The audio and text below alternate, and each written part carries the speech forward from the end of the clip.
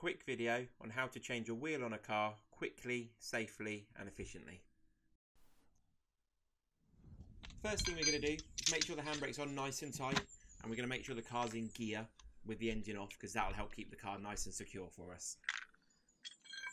The next thing we're going to do is we're going to loosen the bolts before we jack the car up. We're just loosening them though, so just one turn is all we need for now. If we try and do it when it's jacked up, the wheel will just turn and we won't be able to loosen them.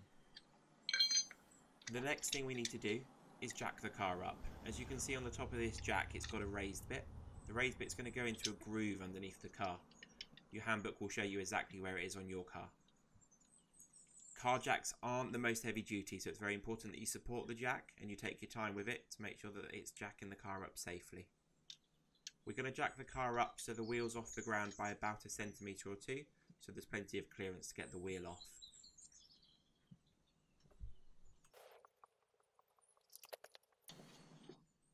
Now the car's jacked up, we need to remove the bolts fully. You should better do most of them by hand, but if any of them are stiff you can use your wrench to get it all the way off.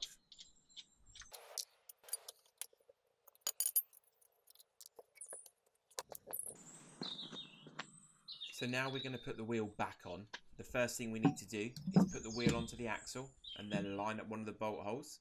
We'll then put the bolts in just hand tight to start with. Once we put all four of them in hand tight, we can then use the wrench just to make sure they're firm. We're not going to fully tighten them until we've lowered the jack back down so that the car's weight is holding the wheel from turning. Once we're jacking it down, just remember, just like when we jacked it up, we're going to take our time just to make sure it's secure and it doesn't fall over.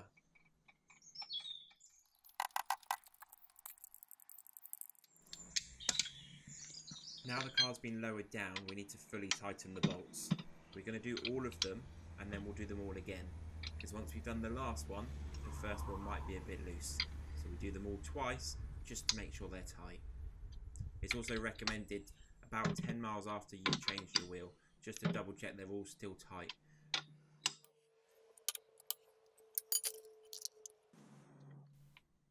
When using your spare tyre, do check to see if it's a space saver. If it is, it'll probably have a yellow sticker on it like this picture, or it might say on the tyre itself. If it is, make sure you read the instructions and follow them. Normally you can't go over 50 miles an hour with a space saver on. Thanks for watching our video on how to change a wheel. We've done loads of other videos on things like roundabouts, independent driving manoeuvres. Please check them out, subscribe to our channel and like our videos. The more we get, the more we can make to help you out. Thanks for watching. Bye.